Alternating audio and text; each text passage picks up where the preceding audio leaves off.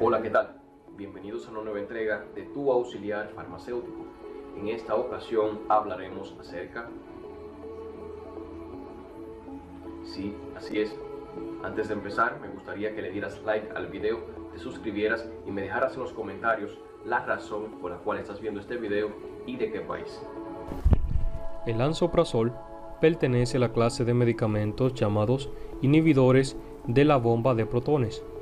Los medicamentos de este grupo ralentizan o previenen la producción de ácido en el estómago.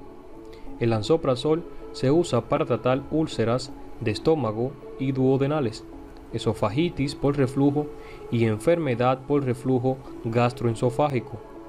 El lansoprazol también se usa junto con antibióticos para tratar y erradicar las bacterias de Helicobacter pylori.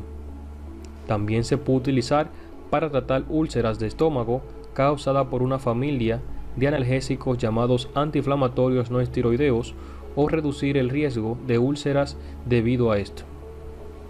Este medicamento está disponible bajo varias marcas y diferentes presentaciones y es posible que su médico se lo sugiera para una afección diferente a la que le he mencionado. ¿Cómo se utiliza este medicamento?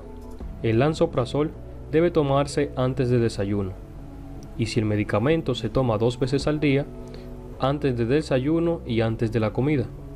Cuando se trata de úlceras duodenales o úlceras gástricas, la dosis recomendada es de 15 miligramos al día, antes del desayuno, durante un periodo de 2 a 4 semanas.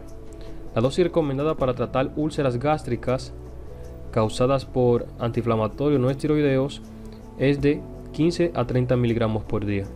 Hay varios factores que pueden determinar una dosis para un paciente, ya sea su edad, su peso y si está tomando otros medicamentos.